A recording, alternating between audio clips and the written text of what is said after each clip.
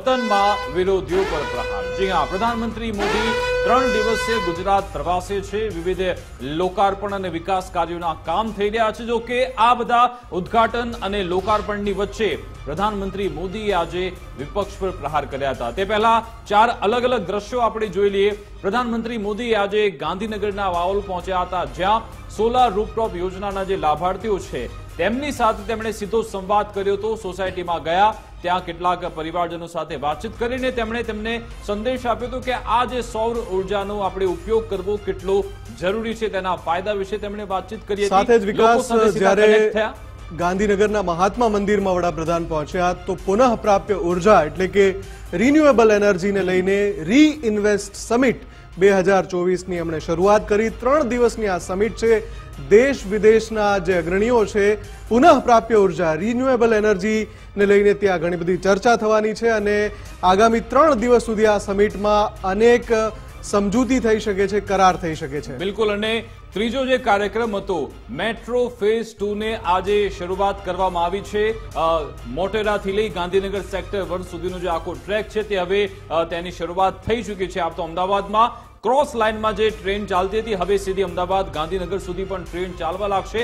તેની શરૂઆત આજથી થઈ ચૂકી છે. તેને પણ લીલી ઝંડી પ્રધાનમંત્રી મોદી આપી હતી.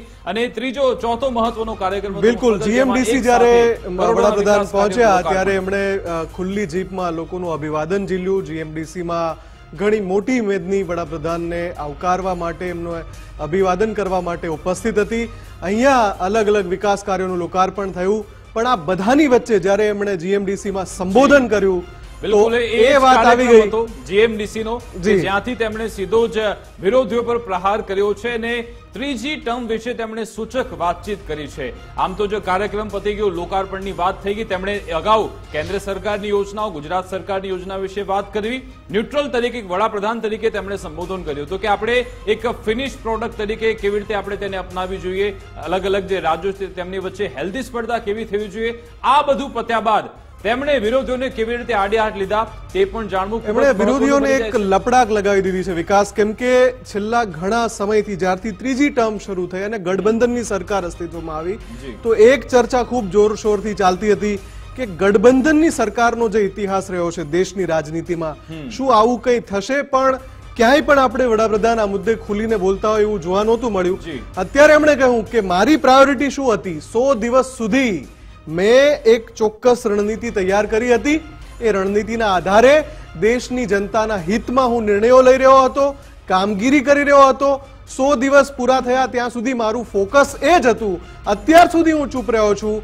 પણ હવે હું કહું છું કે લોકો મજાક બનાવી રહ્યા હતા.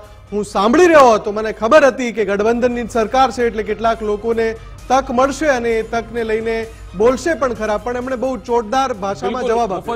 ચાર જૂનના રોજ જ્યારે પરિણામ આવે આપણે પણ ઘણી બધી ચર્ચા ન્યૂઝરૂમથી કરતા હતા અને જે સમાચાર એક બાદ એક આવતા હતા કે ચંદ્રબાબુ નાયડુ નીતિશ કુમાર શું આ બધા પલટી મારશે કે કેમ? અને એના જ જે આગલા દિવસે જ્યારે પ્રધાનમંત્રી મોદી શપથ લીધા જ્યારે કાર્યક્રમ થયો થોડા સમય બાદ ત્યારે તેમણે કહ્યું હતું કે મારે આ આવનાર સો દિવસ માટે કામ કરવું છે એટલે તેમનું જે ફોકસ છે તેમના પર રાખ્યું અને તેમણે. કરી. પરંતુ સાથે સાથે એને એવું પણ લાગતું કે આટલા સમયથી જે કાર્યક્રમ થતા હતા, જુલાઈ મહિનો લઈ લો, ઓગસ્ટ મહિનો લઈ લો, સપ્ટેમ્બર મહિનો લઈ લો કે પ્રધાનમંત્રી મોદી કંઈ બોલતા કેમ નથી? કારણ કે ગઠબંધન અંગે ક્યારે પણ પ્રધાનમંત્રી બોલતા નથી. આજે ચોક્કસથી તેમણે નામ નથી લીધું. પરંતુ આ જ મુદ્દાને લઈ વિરોધ પક્ષોને ટાંકવામાં શું આવતું હતું? એમના જે બે સાથીદારો છે એમને ટાંકવામાં આવતા હતા. ચંદ્રબાબુ નાયડુ અને નીતિશ કુમાર.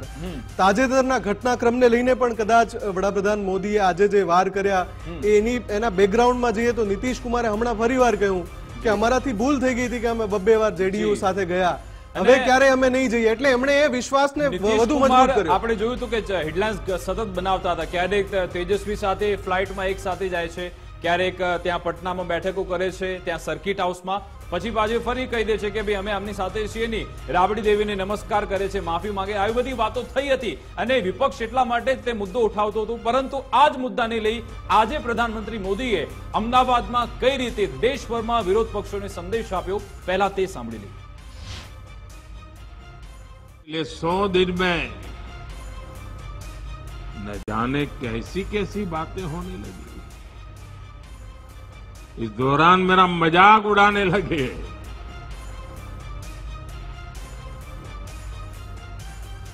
मोदी का मखौल उड़ाने लगे।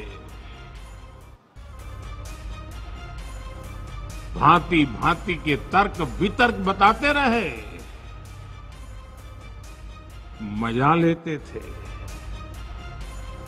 और लोग भी हैरान थे कि मोदी क्या कर रहा है? क्यों चुप है? इतनी मज़ाक हो रही है। इतना अपमान हो रहा है। लेकिन मेरे गुजरात के भाइयों बहनों, ये सरदार पटेल की भूमि से पैदा हुआ बेटा है।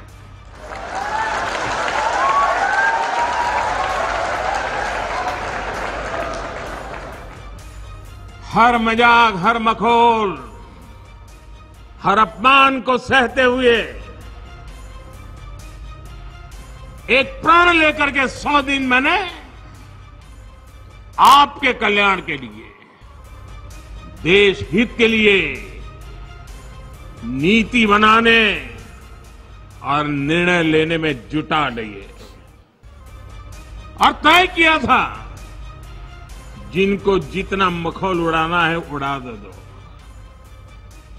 उनको भी तो मौज आएगी यार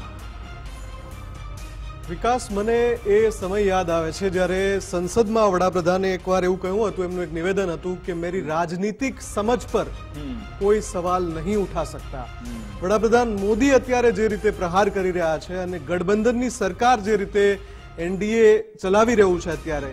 એવું પણ બની શકે કે આ સરકાર જ્યારે એના પાંચ વર્ષ પૂરા કરે ત્યારે એક દાખલો બેસાડશે કેમ કે દેશની રાજનીતિમાં જોયું છે કે ગઠબંધન સરકાર અટલ બિહારી વાજપેયી પણ એવું કહી ચુક્યા છે કે ક્યારેક ને ક્યારેક મજબૂરી આવવું પડે છે. સમજૂતી કરવી પડે છે. પણ અહીંયા વાત મેં એટલે જ પેલું નિવેદનને ટાંક્યું કે મારી રાજનીતિક સમજ પર કોઈ સવાલ નહીં ઉઠા શકતા એવું જ્યારે કે છે એટલે કે ગઠબંધનની રાજનીતિમાં પણ માહેર છે એવું ફલિત કરી રહ્યા છે. બિલકુલ. અને બીજું એક વિપક્ષ હંમેશાથી નેરેટિવ એ બનાવે છે કે ગમે ત્યારે ગમે ત્યારે જે નીતિશ કુમાર છે ચંદ્રબાબુ નાયડુ છે તે હાથ પાછા ખેંચી લે છે અરવિંદ કેજરીવાલ પણ એક કાર્યક્રમમાં કહ્યું કે વિપક્ષના એક નેતાએ મને વડાપ્રધાન પદની ઓફર કરી હતી. એટલે પ્રયાસો વિપક્ષ તરફથી થયા.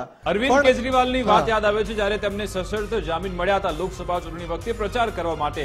બહાર આવીને તેમણે સીધું શું કહ્યું હતું? કે પ્રધાનમંત્રી બદલાવાના છે. તેમણે એક નેરેટિવ ઘડવાનો તેમણે પ્રયત્ન કર્યો હતો પરંતુ આજે પણ પ્રધાનમંત્રી મોદીએ સીધો જવાબ આપ્યો છે. સીધો એવું કહ્યું છે કે ભાઈ હું તો આમાં જ રહેવાનું છે ને મારો હેતુ એ નથી રાજનીતિ કરવાનો. મારો હેતુ છે લોકોની સેવા કરવાનો છે, લોકોના કામ કરવાનો છે અને હું તેના માટે હંમેશા જજુમતો રહીશ. જે મુફદલ આજનું જે સંબોધન હતું, લગભગ એક કલાક પંદર મિનિટ જેટલું સંબોધન હતું. શરૂઆતના સમયગાળામાં તેમણે આ બધી વાત કરી. સાથે સાથે જમ્મુ કાશ્મીરમાં ચૂંટણી પણ છે. એટલે અહીંયા બેઠા બેઠા નેશનલ કોન્ફરન્સ અને કોંગ્રેસ તેમને પણ સીધો તેમણે નફરતની રાજનીતિ કરવા પણ જવાબ આપ્યો ભારતના જે ટુકડા કરવાની વાતો કરે છે કારણ કે એક દેશ અને બે બંધારણ બે ઝંડા ન હોઈ શકે તે વિશે પણ પ્રધાનમંત્રી મોદીએ કહ્યું હતું. પરંતુ જતા જતા જતા જતા તેમણે જે વાત કરી હતી જ્યારે ક્લોઝિંગ તેમની જે કમેન્ટ હતી તે પણ મુફદલ સાંભળવી ખૂબ જરૂરી છે. આપ હી मेरे देशवासी ही मेरे आराध्य हैं। मैंने मेरे इस आराध्य देव की पूजा में अपने आप को आहूत देने करने का निर्णय कर लिया।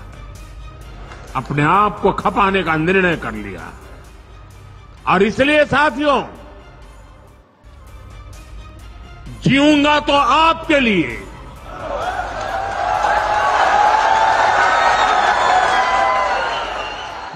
जूझता रहूँगा तो आपके लिए। जी जान से खपता रहूँगा तो आपके लिए। आप मुझे आशीर्वाद दें।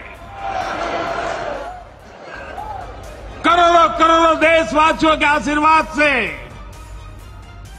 एक नए आत्मविश्वास के साथ नए उमंग और नए हौसले के साथ मैं 140 करोड़ भारतवासियों के सपनों के लिए जी रहा हूं जीता हूं जीना चाहता हूं એટલે વિકાસ એમનું આ આ જે જે ક્લોઝિંગ નોટ હતી એમાં એ એકદમ એગ્રેસિવલી મેસેજ આપી રહ્યા છે ઘણા એટલે- સમય બાદ આ એમનું મૂડ જોવા હા આ અંદાજ એમનો ઘણા સમય પછી જોવા મળ્યો છે એગ્રેસિવલી મેસેજ પાસ ઓન પણ કરી રહ્યા છે અને સાથે એમણે એ પણ કહી દીધું છે કે તમે કદાચ એવું માનતા હો પણ પરિસ્થિતિ એવી નથી સંપૂર્ણપણે એમના કંટ્રોલમાં છે કાબુમાં છે. જી બિલકુલ. અને એ પણ કહ્યું કે ગમે તે થઈ જાય કે હું મારું કામ કર્યા કરીશ ભલે કદાચ એ વિપક્ષ એવું નેરેટિવ ફેલાવે કે આવી પરિસ્થિતિ બદલાશે રાજનીતિક પરિસ્થિતિ બદલાઈ જશે પરંતુ જે મારું કામ છે તે ગમે તે ક્ષણે ગમે તે સ્થિતિમાં હું કરતો રહીશ તે તેમણે સીધો જ એ સંદેશ આપ્યો છે. પરંતુ મુફદ્દલ ગુજરાતમાં બેઠા બેઠા આજે જમ્મુ કાશ્મીરના જે પ્રથમ તબક્કા છે તેના જે પ્રચાર પડઘમ શાંત થઈ ચૂક્યા છે. અઢાર સપ્ટેમ્બરે પહેલા તબક્કાનું મતદાન છે. તેને લઈને ત્રણસો સિત્તેર નો મુદ્દો પણ તેમણે આજે ઉઠાવી લીધો. બંને નેતા બંને નેતા એગ્રેસિવ જોવા મળ્યા. વડાપ્રધાન નરેન્દ્ર મોદી અહીંયા ગુજરાતમાં અને અમિતભાઈ શાહ ત્યાં કિસ્તવાડમાં જયારે સભાનું સંબોધન કરી રહ્યા હતા. એમણે પણ ખૂબ જ એગ્રેસિવલી વિરોધીઓને એમ કહી શકાય કે રીતસરના ધોઈ નાખ્યા.